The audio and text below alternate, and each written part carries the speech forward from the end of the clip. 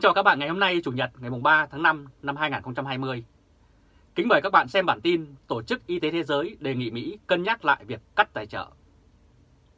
Cố vấn trưởng cho Tổng Giám đốc Tổ chức Y tế Thế giới nói, quyết định mới đây của Mỹ ngưng tài trợ cho Tổ chức Y tế Thế giới là tai hại và Hoa Kỳ nên nghĩ lại việc này.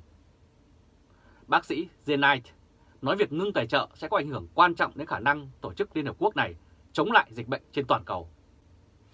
Đây là hình ảnh trụ sở của Tổ chức Y tế Thế giới, viết tắt là WHO, là một cơ quan của Liên Hợp Quốc.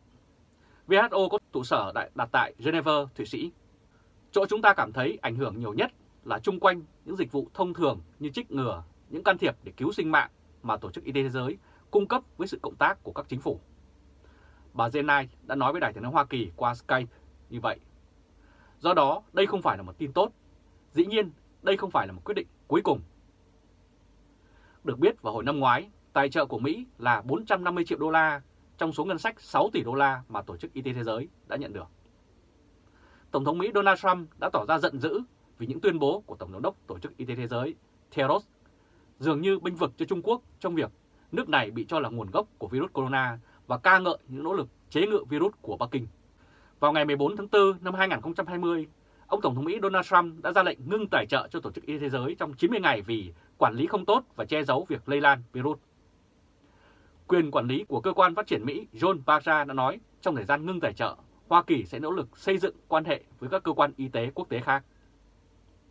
Ông nói trong một cuộc họp báo như sau, Chúng tôi tiếp tục hỗ trợ các chương trình hiện có ngoài Tổ chức Y tế Thế giới và chúng tôi đang tìm các đối tác khác.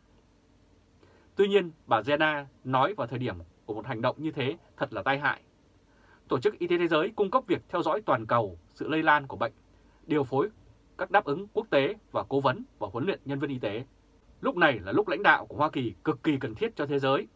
Bà Jenai đã nói, và không phải chúng ta chỉ mong muốn mà chúng ta hy vọng là tài trợ sẽ được thiết lập trở lại. Nhưng chúng tôi cũng muốn thấy tài trợ gia tăng để chống lại đại dịch này. Chúng ta sánh vai với nhau trong việc này. Tổ chức Y tế Thế giới bị chỉ trích vì những bước đi không đúng từ sớm trong việc đáp ứng với đại dịch. Vào ngày 14 tháng 1 năm 2020, tổ chức viết trên tweet là nhà cầm quyền Trung Quốc không tìm thấy bằng chứng virus lây lan từ người sang người. Điều này chứng tỏ là sai lầm. Đây là hình ảnh Tổng thống Mỹ Donald Trump bên phải và Tổng giám đốc Tổ chức Y tế Thế giới Theros. Tổng thống Donald Trump vào hôm 30 tháng 4 đã nói rằng ông có bằng chứng virus corona đã dò dỉ từ phòng thí nghiệm Vũ Hán.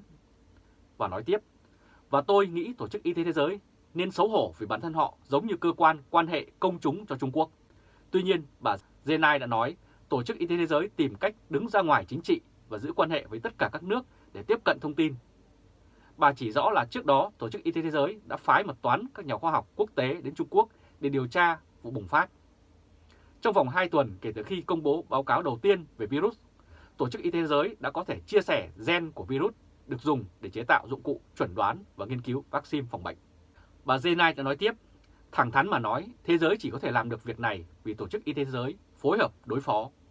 Nhiều nước có quan hệ song phương, Mỹ có quan hệ với Trung Quốc, tuy nhiên những quan hệ này đầy tính cách chính trị. Và điều Tổ chức Y tế Thế giới nỗ lực làm là tránh xa chính trị và chú trọng vào y tế, công cộng toàn cầu.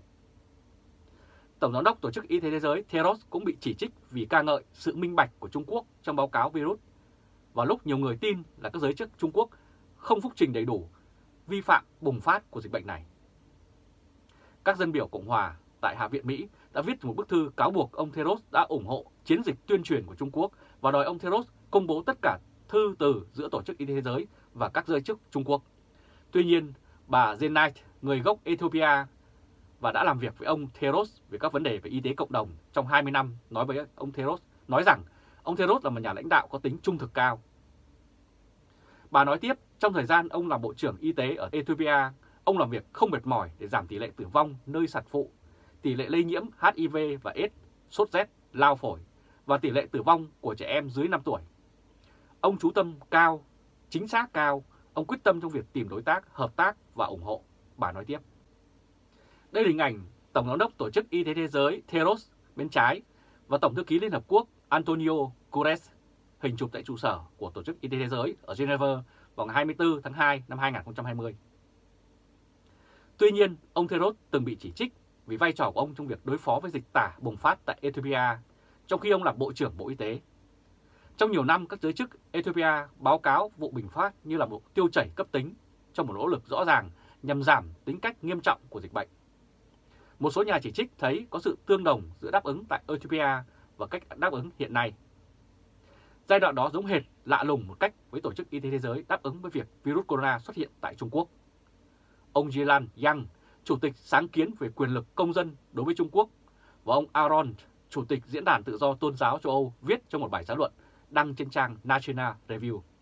Và bà Zenai tin rằng ông Theros sẽ làm dịu cơn bão và là người đứng đúng tiếp tục để lãnh đạo Tổ chức Y tế Thế giới. Sẽ có những chỉ trích không có nghĩa là tiến sĩ Theros là một người hoàn hảo. Điều tốt là ông là một người tự tin, tự chế. Ông luôn muốn học hỏi, thăng tiện trong cải thiện mọi cái. Nhưng sự thật là một số tấn công nhằm vào ông trong lúc này không có căn cứ, nhưng rất chính trị, bà Zenai đã nói. Đã có hơn một triệu người, trong đó có nhiều người Việt, đã ký vào thỉnh nguyện thư yêu cầu Tổng giám đốc Tổ chức Y tế Thế giới Theros từ chức vì cách thức ông xử lý đại dịch virus corona. Tính đến sáng ngày 26 tháng 4, có 1 triệu 015.405 người đã ký và kêu gọi người đứng đầu của Tổ chức Y tế Liên Hợp Quốc từ nhiệm, vượt quá con số 1 triệu ban đầu mà những người tổ chức đặt ra. Thỉnh Hiệu Thư viết rằng ông Theros không phù hợp với vị trí Tổng Giám đốc của Tổ chức Y tế Thế giới, cũng như cáo buộc ông tin vào con số người chết và nhiễm bệnh mà chính phủ Trung Quốc cung cấp cho mình mà không điều tra. Với sự ủng hộ gia tăng, mục tiêu tiếp theo của những người vận động là có 1,5 triệu người ký vào thỉnh nguyện thư mà cho tới nay Tổ chức Y tế Giới hay cá nhân ông Theros chưa có phản hồi trực tiếp. Cũng hôm 16 tháng 4 năm 2020, 17 nhà lập pháp của Mỹ thuộc Đảng Cộng Hòa trong Ủy ban Đối ngoại Hạ viện Mỹ đã viết thư với Tổng, với Tổng thống nội Donald Trump bày tỏ hậu thuẫn quyết định ngưng cung cấp ngân quỹ cho Tổ chức Y tế Giới, đồng thời cho rằng Hoa Kỳ chỉ nên tiếp tục cấp tiền với điều kiện ông Theros từ chức. Đây là hình ảnh báo chí tại Việt Nam đăng tiết bài Tổng Giám đốc Tổ chức Y tế Thế giới sẽ rút kinh nghiệm, chạm vào tâm thức người Việt lâu nay đã ghét cay ghét đắng cụm từ này. Và các vị lãnh đạo của Đảng Cộng sản Việt Nam vẫn hay quen dùng từ rút kinh nghiệm mỗi khi có những sai sót gây ra đau khổ rất lớn cho dân tộc và thiệt hại cho đất nước. Trả lời Đài tiếng nói Hoa Kỳ từ Sydney, Úc, ký giả Nguyễn Vi Túy vốn ủng hộ thỉnh Nguyễn thư nói rằng ông Theros chịu trách nhiệm rất lớn trong việc đưa toàn cầu đến thảm họa. Và ông cũng cho rằng việc nhiều người Việt tham gia ký vào lời kêu gọi ông Theros từ chức còn vì yếu tố Trung Quốc.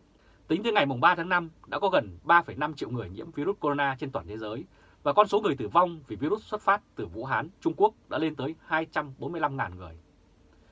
Mỹ ngưng tài trợ ảnh hưởng với Tổ chức Y tế Thế giới ra sao cũng là một câu hỏi được đặt ra. Quyết định của Tổng thống Mỹ Donald Trump ngưng tài trợ cho Tổ chức Y tế Thế giới, tước bỏ nguồn tài trợ lớn nhất của tổ chức này, có thể có những hậu quả xa hơn nữa trong nỗ lực chống bệnh tật và làm cho việc chăm sóc sức khỏe trên toàn cầu gặp nhiều khó khăn mà trong đó có cả Việt Nam. Lệnh của ông Tổng thống Mỹ Donald Trump xoáy vào cách thức đáp ứng của tổ chức này đối với đại dịch corona. Và ông không phải là người duy nhất chỉ trích những hành động và những lời tuyên bố của tổ chức này. Một số nước đã bất bình với những nỗ lực của Tổ chức Y tế Thế giới vào lúc dịch bệnh cúm Vũ Hán lây lan, thất bại trong việc báo cáo về bùng phát lây nhiễm, bất cần những quy định luật quốc tế. Tuy nhiên, Tổ chức Y tế Thế giới chịu trách nhiệm nhiều hơn là ứng phó với dịch bệnh và hiện nay đang gặp khó khăn về tài chính vì đang kẹt trong một cuộc tranh chấp chính trị tại Mỹ. Được thành lập sau Thế chiến lần thứ hai trong khuôn khổ của Liên Hợp Quốc, tổ chức có trụ sở này tại, đặt tại Geneva với khoảng 7.000 nhân viên tại 150 văn phòng trên toàn thế giới.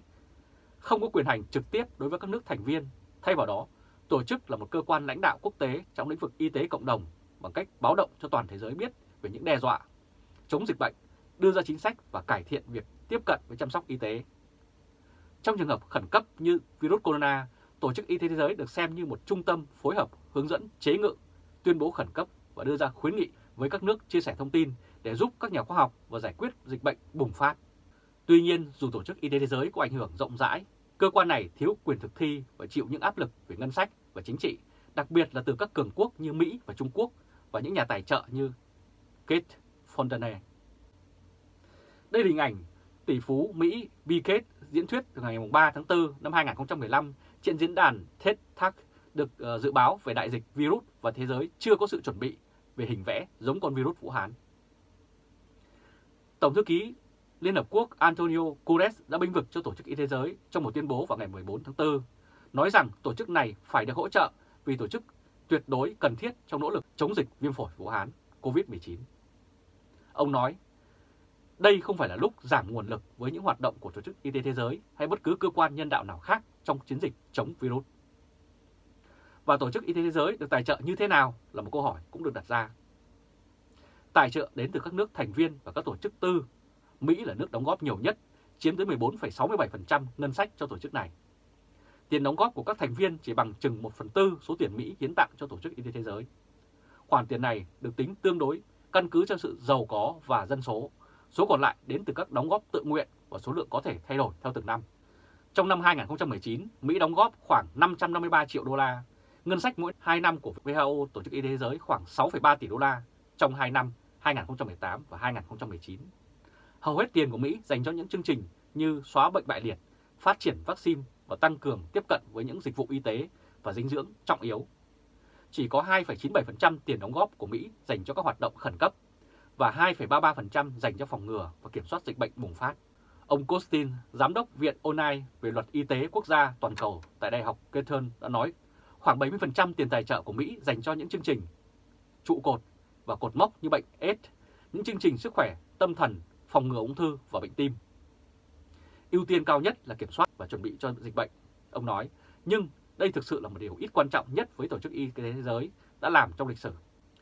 Đóng góp của Mỹ cao gấp đôi các nước đóng góp lớn kế tiếp là Anh. Số tiền Anh đóng góp chiếm khoảng 7,79% ngân sách của Tổ chức Y tế Thế giới. Quỹ Bill và Kết đã đóng góp khoảng 9,76% ngân sách cho Tổ chức Y tế Thế giới. Trong suốt tháng 1, Tổ chức Y tế Thế giới đã đưa ra khuyến nghị về sự nguy hiểm của virus. Từ ngày 22 tháng 1 về sau, tiến sĩ Theros, Tổng giám đốc Tổ chức Y tế Thế giới, hầu như họp báo hàng ngày để cảnh báo thế giới là virus này đang lây lan và cửa sổ, cơ hội để chặn đứng virus đã đóng. Đây là hình ảnh người dân Việt Nam đi chơi lễ ngày 30 tháng 4 tại Việt Nam tại chợ đêm Đà Lạt trong mùa dịch cúm Vũ Hán. Tuy nhiên, tổ chức này lúc đầu đã ngần ngại công bố khẩn cấp y tế toàn cầu ngay cả khi virus lây lan bên ngoài Trung Quốc. Đây là tình trạng khẩn cấp tại Trung Quốc nhưng chưa thành khẩn cấp y tế toàn cầu, tiến sĩ Theros đã nói vào ngày 23 tháng 1. Có thể chưa đến như thế. Và vào ngày 30 tháng 1, Tổ chức Y tế Thế giới ra tuyên bố chính thức yếu tố vốn thực được khiến các chính phủ có hành động. Không lâu sau đó, Bộ Ngoại giao Mỹ cảnh báo người Mỹ tránh đến Trung Quốc. Trong nhiều tuần lễ, Tổ chức Y tế Thế giới đã ban hành hướng dẫn và cảnh báo chính thức công bố dịch bệnh bùng phát là một đại dịch vào ngày 11 tháng 3 năm 2020 và kêu gọi các chính phủ cùng nhau vào việc để chống dịch. Các chỉ trích thì nói rằng cả hai tuyên bố của Tổ chức Y tế Thế giới đều quá trễ và những quyết định sớm có thể đã động viên được các chính phủ nhanh chóng hơn. Trong khi Tổ chức Y tế Thế giới có ý định phối hợp đáp ứng toàn cầu, nhưng không mấy được sự đoàn kết trên thế giới, chứng tỏ quyền lực hạn chế của tổ chức. Tổ chức có kế hoạch nhưng ít quốc gia tuân theo. Ông Costin đã nói trong dài hạn, quyết định của Tổng thống Mỹ Donald Trump cắt tài trợ cho Tổ chức Y tế Thế giới có thể đưa đến việc tái cơ cấu của Tổ chức Y tế Thế giới. Với giới lãnh đạo quốc tế mới, liên minh y tế mới và kiểm soát lớn hơn đối với ngân sách của tổ chức này. Ông nói Hoa Kỳ cũng là một cái gai bên hông của Tổ chức Y tế Thế giới trong nhiều năm, ngăn chặn những nỗ lực của tổ chức tiếp cận thuốc men hay hạ giảm những kế hoạch hành động toàn cầu về di dân và người tị nạn. Tôi nhìn vào việc này như một đám cháy rừng không kiểm soát được, bởi vì trong trường hợp này, Tổng thống Mỹ Donald Trump đã khai quang các bụi rậm và cho phép cây mới mọc lên, ông nói. Tuy nhiên, ông nói thêm, tôi nghĩ Tổng thống Trump trong hành động này đã đi quá xa. Việc này sẽ xói mòn đáng kể ảnh hưởng của Mỹ trên thế giới và y tế toàn cầu và các vấn đề quốc tế giữa dịch bệnh chưa từng có trước đây, ông đã nói như vậy. Và chúng ta sẽ mất tiếng nói, ngay cả đối với đồng minh của chúng ta. Tôi nghĩ rằng chúng ta không có tiếng nói gì thêm về việc chuyện này sẽ diễn biến ra sao. Các bạn vừa theo dõi chương trình truyền hình trực tiếp của Lê Trung Khoa, Thời báo.de ngày hôm nay, Chủ nhật, ngày 3 tháng 5 năm 2020 với bản tin Tổ chức Y tế Thế giới đề nghị Mỹ cân nhắc lại việc cắt tài trợ. Các bạn hãy chia sẻ video này cho nhiều người biết và bấm nút theo dõi YouTube và Facebook của Thời báo.de để luôn được cập nhật những bản tin mới nhất, nhanh nhất và trung thực nhất. Từ Berlin, Cộng hòa Liên bang Đức, chào các bạn và hẹn gặp lại các bạn vào bản tin lần tới. Trung Khoa, Thời báo.de